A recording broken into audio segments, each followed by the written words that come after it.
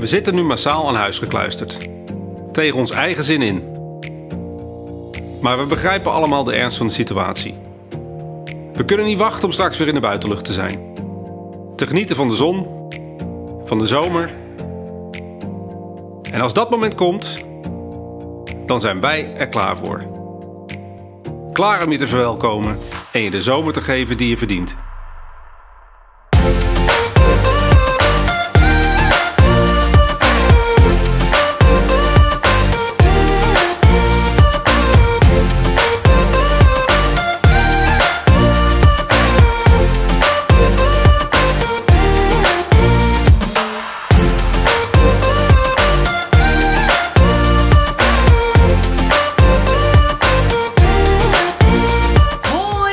iedereen. Wij missen jullie. Tot snel.